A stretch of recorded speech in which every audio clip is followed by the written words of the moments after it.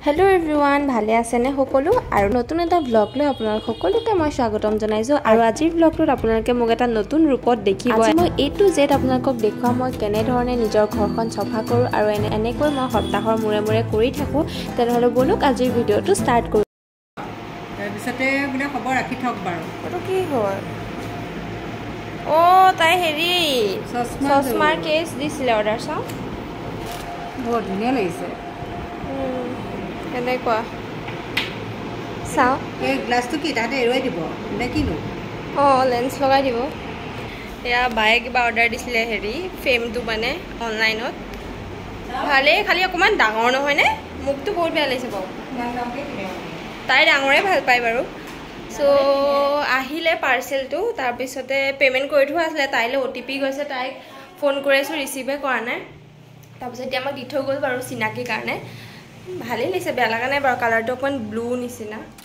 Everyone and welcome back to my YouTube channel নমস্কাৰ মই দীপিকা আৰু আপোনালোক সকলোকে স্বাগতম জনাইছোঁ মোৰ ইউটিউব চেনেললৈ আৰু ৰাতিপুৱা শুই উঠি মেলি ব্ৰেকফাষ্ট কৰিলোঁ কৈ পেলাই কৰি পেলাই ইয়াৰ লগতে আহিলে আবাৰ পাৰ্চেলটো গ্লাছ গ্লাছ অৰ্ডাৰ দিছিলে ফ্ৰেমটো মানে। চ' ভালেই আহিছে এতিয়া তাই আহিলে বা পচন্দ কৰে নে নকৰে। চ' বাকী আজি ভাবিছোঁ আজি গোটেই ঘৰটো চফা কৰিম বুলি বহুত দিন হ'ল মানে চফা মানে এইবিলাক কি বুলি কওঁ ফেন চেন ভেণ্টিলেশ্যন খিৰিকীৰ আশে পাশে যি ধূলি জমা হৈ থাকে ন সেয়া মানে মই সপ্তাহ এসপ্তাহ বা দুসপ্তাহ সময়ত কৰিবই লাগে চফা। আৰু মেইনলি আমাৰ যিহেতু মানে কি বুলি ক'ম ৰাস্তাৰ কাষতে ঘৰ সেইকাৰণে বহুত ধূলি জমা হৈ যায় চ' কৰিবই লাগে।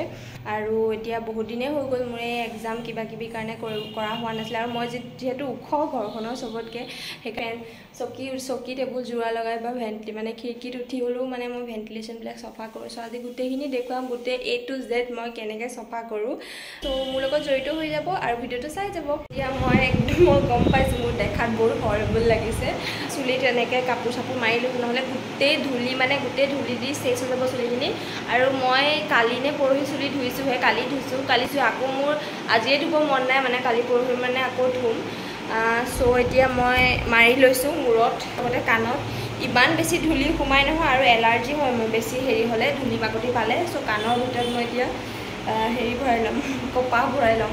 নিজৰ ঘৰখন বীজাণুমুক্ত কৰি ৰখাটো খুবেই প্ৰয়োজনীয় কাৰণ আমাৰ নিজৰ ঘৰখনেই যদি চফাকৈ নাথাকে তেনেহ'লে আমিনো কেনেকৈ সুস্থ থাকিম? কিয়নো আমি নেদেখাকৈও বহুত বীজাণু আমাৰ ঘৰৰ চুকে কোণে আবদ্ধ হৈ থাকে যাৰ বাবে আমাৰ বহুতো ধৰণৰ বেমাৰ হ'ব পাৰে। সেইকাৰণে এনেকৈ আমি সপ্তাহৰ মূৰে নিজৰ ঘৰ চফা কৰাটো খুবেই বেছি প্ৰয়োজনীয়। এয়া মই কামত লগা ষ্টাৰ্ট কৰিছোঁ। প্ৰথমতে তুলিখন একদম বল লগাই মেলি মুটুকাই পেলালোঁ আৰু তাৰপিছত খিৰিকীখন খুলি ল'লোঁ লগতে পৰ্দাকেইখনো এৰাই দিলোঁ। তাৰপিছত এখন এখনকৈ খিৰিকীৰ গ্ৰিলখিনি চফা কৰিলোঁ লগতে ভেণ্টিলেশ্যনখিনিও চফা কৰিবলৈ ট্ৰাই কৰিলোঁ। গ্ৰিলৰ ওপৰত উঠি মেলি অলপ দেখাত ভয়ংকৰ লাগিছে বাট প্লিজ আৰু নাহাঁহিব দেখি। আৰু লগতে ফেনকেইখনো ফেনখনো চফা কৰিলোঁ আৰু দুটা পাৰ্ট চফা কৰি যেন তেন হ'ল আৰু ৰুমৰ এয়া অৱস্থা। দুটা ছাইড হৈ গ'ল ওপৰৰ ভেণ্টিলেশ্যনখিনি আছে আৰু ৰুমৰ অৱস্থা চাওক। এটা ৰুমতে মোৰ বহুত টাইম লাগিব এইখিনি চফা কৰোঁতে। আৰু এনেকৈ কৰি গৈ আছোঁ আৰু কৰা টাইমখিনি অকণমান কষ্ট হয় কিন্তু পিছত মনটো সঁচাকৈ বহুত ভাল লাগে যিহেতু ৰুমটো খুব ধুনীয়াকৈ চফা হৈ যায় চুকে কোণে গোটেই ধূলি মাকতি চব আঁতৰাই পেলাওঁ মই। গাইছ এটা ৰুম হৈ গ'ল কমপ্লিট একদম মোৰ জীৱ ওলাই যাওঁ যেন লাগিছে। অৱস্থা নাই ঘামি জুমি চাওকচোন অৱস্থা নাইকিয়া হৈ গ'লোঁ। ইমান বেছি গৰম লাগিছে এই ৰুমটো হৈ গ'ল বাৰু। ভেণ্টিলেশ্যন খিৰিকী চব চফা কৰিলোঁ ৰুমটো এতিয়া গ'ল আৰু এয়া বেডশ্বীট ধুই পেলাম। আৰু বাকী ৰুমটো হেৰি কৰিব লাগিব সাৰিলোঁ মুচিব আছে। আৰু বাকী এইটো ৰুমত ইমান কাম নাই বাৰু খিৰিকী চফা কৰিম ভেণ্টিলেশ্যন চফা কৰিম। লগতে ৰুম সাৰিম আৰু মুচিম। আজি চাগে এই দুটা ৰুমেই মই পাৰিম মই পাৰিম আৰু নোৱাৰিম চাগে। ফাইনেলি মোৰ কমপ্লিট হৈ গ'ল আৰু লগতে কাপোৰখিনিও মই ধুই দিলোঁ মেচিনতে। যিহেতু বেডশ্বীটো লেতেৰা হৈছিলে সেইকাৰণে মেচিনতে দি দিলোঁ। আৰু লগতে ময়ো গাটো ধুই দিলোঁ লগতে হেয়াৰ ৱাছো কৰিলোঁ। আৰু এতিয়া মই কাপোৰ মেলিবলৈ আমাৰ ওপৰলৈ গৈছোঁ আৰু মই গা পা ধুই আজৰি হোৱালৈকে মায়েও ভাত বনাই মেলি ৰেডি কৰিলে। এয়া মই স্কিন কেয়াৰ কৰি আছোঁ এতিয়া। জাষ্ট গা পা ধুই মেলি আহিলোঁ আৰু চুলি তুলি ধুই দিলোঁ। লগতে এতিয়া খাই আছোঁ একাপ কফি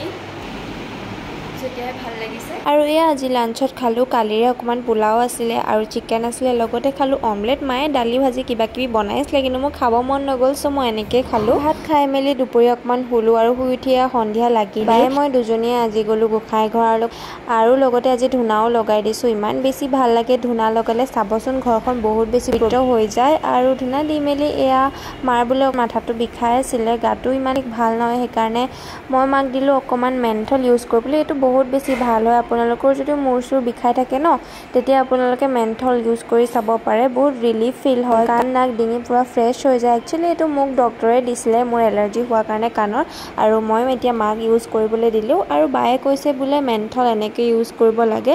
ওপৰত এখন পেপাৰ নতুবা কাগজ দি দিব লাগে। আৰু কাগজৰ মাজত এটা ফুটা কৰি দিব লাগে। তেতিয়া সোনকালে ঠাণ্ডাও হৈ নাযায় গৰম পানীখিনি। আৰু মেন্থলটো বহুত ধুনীয়াকৈ ল'ব পাৰে ইউজ কৰিব পাৰে। আপোনালোকে।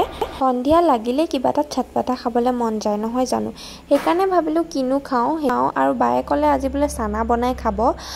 অলৰেডি মগু আমি তিয়াই থৈছিলোঁ আৰু লগতে ভাইটিক কামোৰ দি দি দোকানলৈ পঠিয়ালোঁ চিপছ আৰু চানা আনিবলৈ।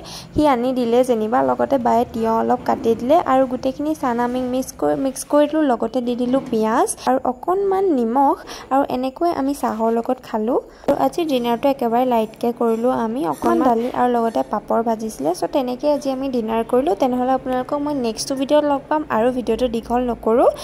আশা কৰোঁ আপোনালোকে ভিডিঅ'টো চাই ভাল পালে। আৰু আগলৈও এনেকৈ ভিডিঅ'বোৰ চাই যাব দেই। তেনেহ'লে আজিলৈ আহিছোঁ। Bye bye.